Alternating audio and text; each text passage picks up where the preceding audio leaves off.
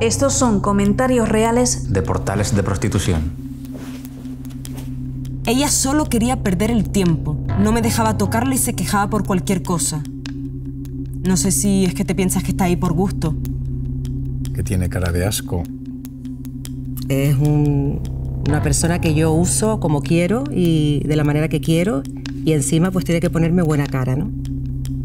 Yo al ser mujer joven, estos mensajes me hieren. Pues me horrorizaría que, que un chico vea esto público y además lo vea como algo normal, ¿no? Como algo que se pueda hacer. Nombre, Adama. Edad 21. Con 16 años atravesó el continente africano.